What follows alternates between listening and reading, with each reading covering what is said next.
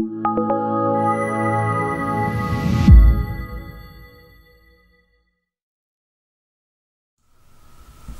Beste kijkers, het beursjaar 2023 zit er bijna op en zo met de feestdagen en de jaarwisseling voor de deur lijkt het mij een goed moment om samen even naar de maandgrafiek van de AX te kijken om vast te stellen wat we het volgend jaar mogen verwachten.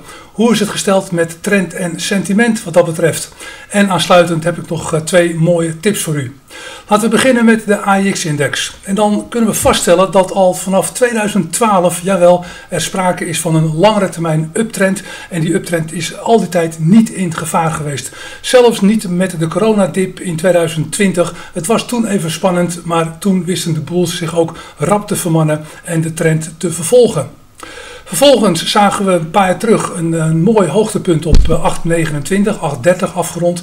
Logischerwijs volgde daar een correctie op, want dat was wel te veel euforie bovenin het veld. En uh, vervolgens zagen we een lagere top op 7,95. U ziet het allemaal hier in beeld. Die lagere top op 7,95 dat is een cruciaal moment, want het behelst een lichte verzwakking van de uptrend. Een lagere top in het proces van hoger top, hoger bodems betekent een kleine aderlating, maar zeker nog geen trendbreuk.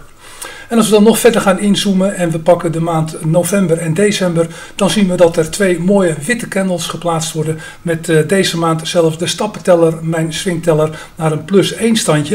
En dat betekent dat de ondertoon best wel goed blijft. Zeker ook gevoed door de RSI, de rode lijn die onder de grafiek staat, als spanningsmeter. Die aangeeft dat het momentum, het positieve momentum, toch alweer terugkeert op dit speelveld. Maar wat gaan de Bulls doen? Dit jaar zeker niet meer, maar volgend jaar met die 795 passage. Gaat het lukken om die uit te nemen? Die indicatoren herbergen die stijgingsruimte. Zo ja, dan komt er ruimte vrij opnieuw naar die 830. En dat acht ik dus wel aannemelijk dat dat uiteindelijk gaat gebeuren. En boven 830, want waarom zou dat niet kunnen gebeuren? Het proces van hogere toppen, hogere bodems krijgt dan immers een mooi vervolg.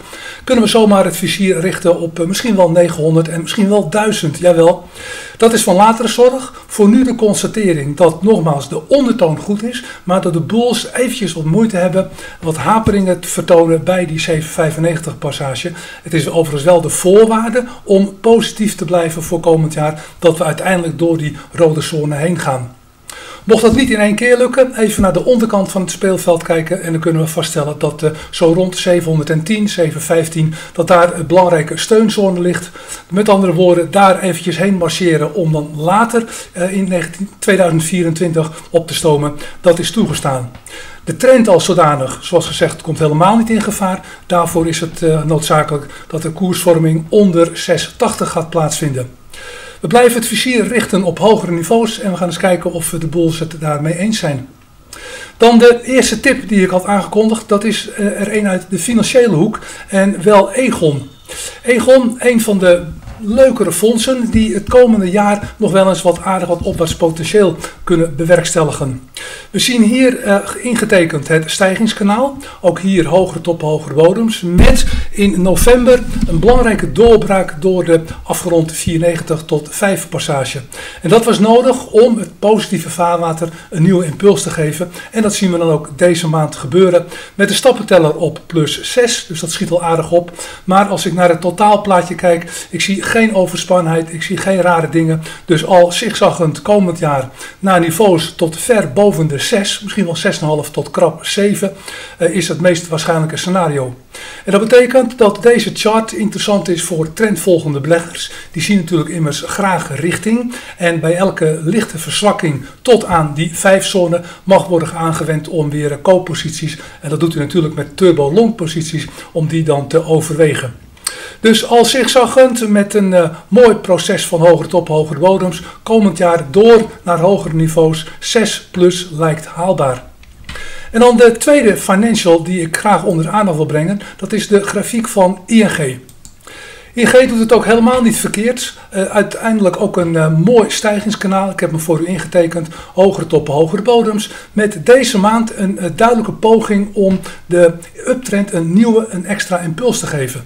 En het mooie van deze grafiek is dat er geen rode strepen, geen weerstanden in de nabije omgeving liggen. Dus de bulls hebben eigenlijk vrij spel om op te stomen naar de bovenkant van het stijgingskanaal. En dan hebben we het komend jaar al gauw over niveaus, misschien wel tot aan 20 aan toe. Onderin het veld ligt steun relatief dichtbij, namelijk rond 11 tot 12. Een extra aanloopje daar naartoe is toegestaan, maar met deze voortgang lijkt het aannemelijk dat al zigzaggend de boels naar hogere niveaus opstomen. En nogmaals, zij mogen het vizier richten op 20 en we gaan eens kijken of uh, dat gaat lukken. Aan het eind van deze uitzending mag ik natuurlijk niet met een kerstwens en een nieuwjaarswens ontbreken. Ik wens u en de uwen uitermate plezierige feestdagen. Doe voorzichtig en uh, we treffen elkaar ongetwijfeld volgend jaar weer.